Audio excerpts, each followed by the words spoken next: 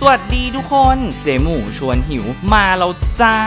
วันนี้เดียนมาชวนหิวกันด้วยเมนู ไก่อบพริกไทยดำไก่ตัวใหญ่ ๆ เนื้อแน่น เสิร์ฟคู่กับน้ำจิ้มสุดแซ่บบอกเลยว่า หอมอร่อยแน่นอนจ้าเพื่อให้เป็นการไม่เสียเวลาตามเดียนมาจดสูตรกันได้เลยจ้า มาเริ่มกันเลยที่ขั้นตอนแรก ขั้นตอนการเตรียมวัตถุดิบ ใส่กระเทียม รากผักชี พริกไทยดำโขลกให้ส่วนผสมละเอียด และเข้ากันเลยนะจ๊ะ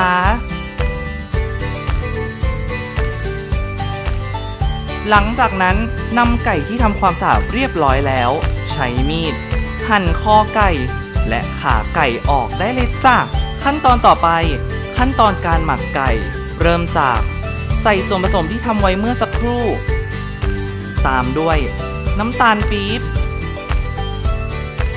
ซีอิ๊วขาว ซอสหอยนางรม น้ำมัน คลุกเคล้าให้ส่วนผสมเข้ากัน หลังจากนั้นใส่ไก่ลงไปได้เลยจ้า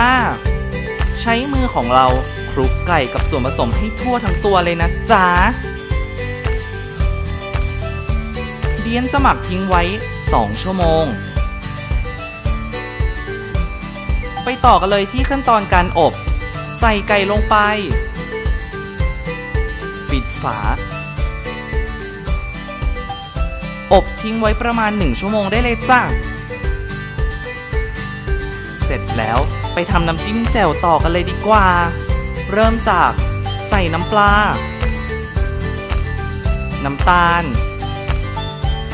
มะนาว ใส่ได้ตามใจชอบเลยนะจ๊ะ ถ้าชอบแซ่บๆแบบเดียน ใส่ไปเยอะๆเลยจ้ะ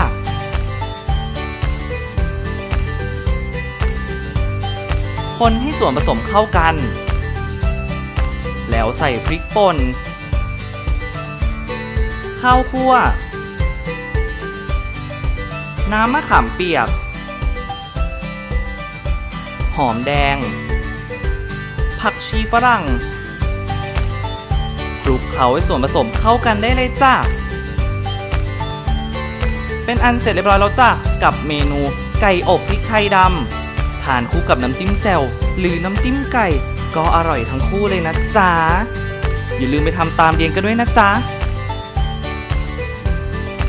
สามารถติดตามเมนูอร่อยๆ อีกมากมายของเจ๊หมูกันได้ที่ Facebook IG